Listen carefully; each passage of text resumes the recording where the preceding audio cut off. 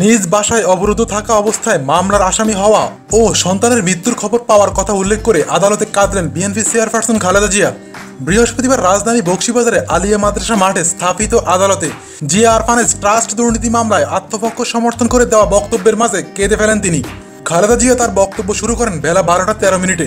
বক্তব্য শেষ করেন একটা সতেরো মিনিটে। প্রায় ঘণ্টাব্যাপী লিখিত বক্তব্য পাঠ করেন তিনি।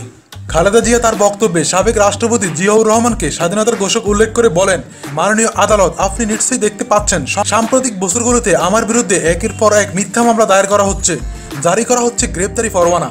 চার দশকের স্মৃতি বিজড়িত বসত বাড়ি থেকে আমাকে উচ্ছেদ করা হয়েছে। আমাকে বাসা ও রাজনৈতিক কার্যালয়ে বালুর ট্রাক দিয়ে কয়েক দফায় অবরুদ্ধ করে রাখা হয়েছে। আমি অফিসে অবরুদ্ধ থাকা অবস্থায় বিদ্যুৎ, পানি, টেলিফোন, ইন্টারনেট সংযোগ বন্ধ করে দেওয়া হয়। আমি অবরুদ্ধ অবস্থাতে বিদেশে চিকিৎসাধীন ছোট ছেলের মৃত্যুর সংবাদ পাই। এই পর্যায়ে খালেদা জিয়া আবেগ আপ্লুত হয়ে কেঁদে ফেলেন। নিজেকে নিয়ন্ত্রণ করে আবারও বক্তব্য শুরু করেন তিনি। আত্মপক্ষ সমর্থন করে দেওয়া বক্তব্যে বিএনপি চেয়ারপারসন বলেন, আমি সেদিন এবং আমার সঙ্গে যারা অফিসে অবরুদ্ধ ছিলেন, তাদের বিরুদ্ধে সম্পূর্ণ বানোয়াট একটি মামলা দায়ের করা হয়। অভিযোগ করা হয়, রাস্তায় গাড়ি ফোড়ানো এবং বিস্ফোরক দিয়ে মানুষ হত্যার। অফিসে অবরুদ্ধ থাকাকালীন অবস্থায় আমরা এসব করেছি।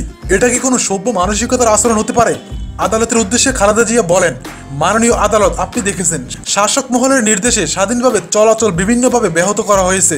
বারবার হামলার ঘটনা বিশ্ব দেখেছে। আমার উপর সশস্ত্র হামলা করা হয়েছে। আমার গাড়িতে গুলি চালানো হয়েছে। গাড়ি বহরে সশস্ত্র হামলা হয়েছে। দলীয় নেতাকর্মী ও নিরাপত্তা রক্ষীরা তাতে আহত হয়েছে। সন্ত্রাসীরা কেউ আটক হয়নি।